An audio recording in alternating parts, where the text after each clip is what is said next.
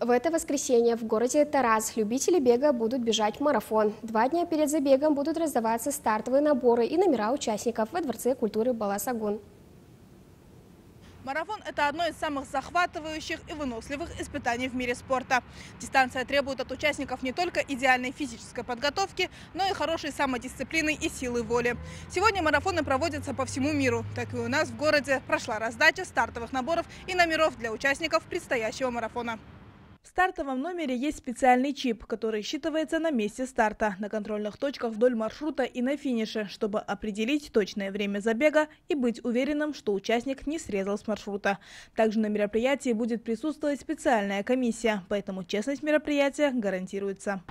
Э, бегают у нас на дистанции 10 километров, основная дистанция, старше 15 лет участники. 5 километров, также с 15 лет.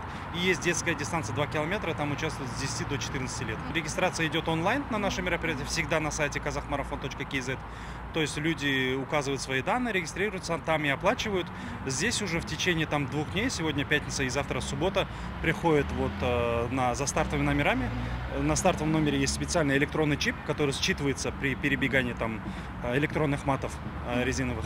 Вот, э, они приходят за, со своими стартовыми наборами, куда входит фирменная сумка, стартовый конверт, э, номер, кепка. Среди собравшихся можно встретить как профессиональных спортсменов, так и любителей, впервые решивших испытать свои силы на дистанции. На старте ожидается более 600 участников. Это завершающий четвертый забег в серии забегов «Казах-марафон». Первый прошел 26 мая в городе Хунаев, второй – 21 июля в городе Семей, третий – 11 августа в Талдыкургане.